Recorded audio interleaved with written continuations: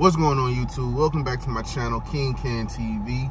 And today we're gonna be discussing the topic, man. As you can see on your screen, Carolina Panthers, they are no longer pursuing Deshaun Watson. It's very interesting. It's very interesting, man. I feel like this is this is an okay move not to pursue him unless uh, hold on, let me say this. It's an okay move if you're not gonna pursue him, if you're gonna pursue another quarterback right now, Deshaun Watson, he has a lot of stuff going on in his personal life that can affect his professional life, which is understandable for a team to back off on until he, you know, he get that situated. But I also feel like Deshaun Watson is a once-in-a-generation talent. You usually don't get a chance to trade for a once-in-a-generation talent. And we have the opportunity to do that. So, for us not to pursue him, when we have the opportunity to, it's very interesting. But I understand. I understand why they're backing off. I understand why they're doing that. Now, it also says that they may still, you know, look into it after he gets his stuff figured out. But I feel like that's going to be too late.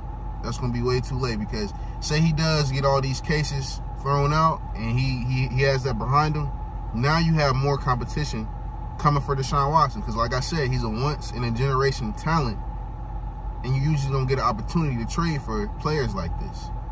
So, with that being said, Carolina ain't gonna pursue him, man, we need to start looking at other quarterbacks because I'm still standing on what I said. I do not believe in Sam Darnold. I don't believe in him no more. And I felt like we have the pieces to trade for Deshaun Watson. That way we can upgrade our quarterback play. And all we all we're missing is quarterback play at this point. I understand the O line. I understand that. But that O line ain't gonna get no better because nobody trying to trade for him. Well, I ain't gonna say nobody trying to trade for him. Nobody trying to give up their O line because they know how valuable O line is right now.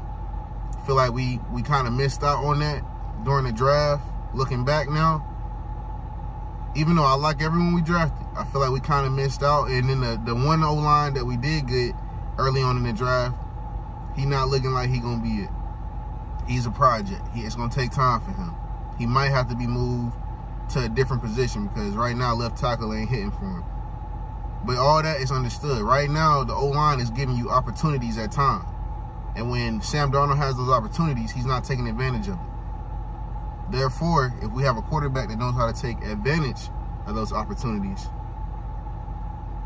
we we could we could have won like all those games that we lost. Besides that New York Giants game, every other game was a one possession game. Quarterback couldn't get it done missed reads, forcing passes. Sam Darnold, he just he is who he is, man.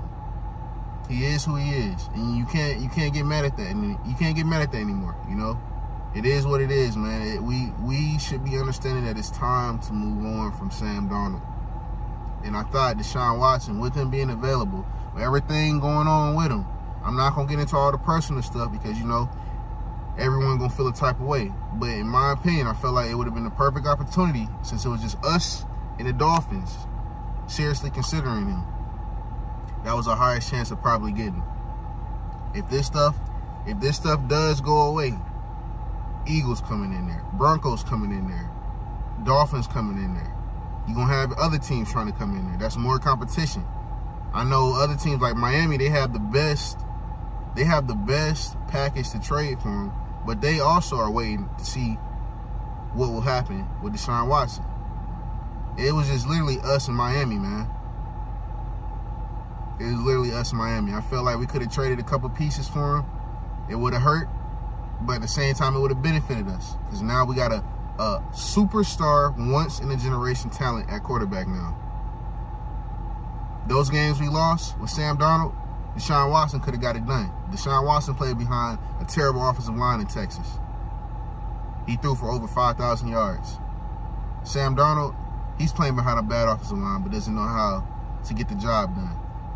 Therefore, I thought we should have went after him. But as you see, Carolina's going in a different direction, man. And we're going to see what they do. We just traded for, it. well, not traded, we just signed a free agent at wide receiver. So I, I thought that might have been, you know, they tipping their hat that they they about to trade trade a couple pieces to bring in Deshaun, but clearly they ain't. Other than that, that's gonna do it for this video, man. Y'all like, subscribe, and comment. Y'all let me know in the comment section what y'all think. Y'all seen lately, y'all been interacting with me a lot more. I'm appreciating all the love that y'all that y'all giving me, man. A lot of support. I appreciate that, man. I definitely appreciate that. But till then, I'll see y'all in the next video.